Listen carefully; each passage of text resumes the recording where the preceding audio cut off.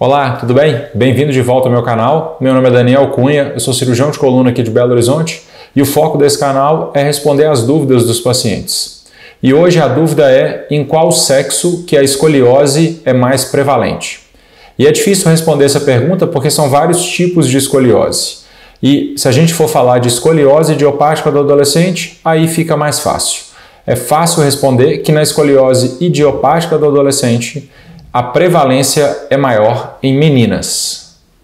Mas só falar que a prevalência é maior nas meninas não é o suficiente. A gente precisa de mais dados, dá para melhorar. Vamos destrinchar isso aqui um pouquinho melhor.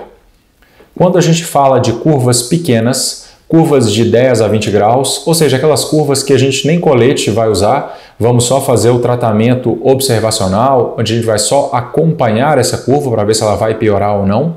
Essa, nesses casos, a prevalência é um pouco maior nas meninas, não é muito.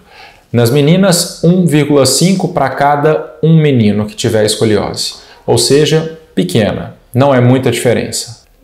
Agora, quando a gente fala de curvas maiores, curvas maiores do que 20 graus, curvas que vão precisar de tratamento, a prevalência aumenta. Aí fica na média de 5 meninas para cada um menino, ou seja, uma diferença bem grande, né?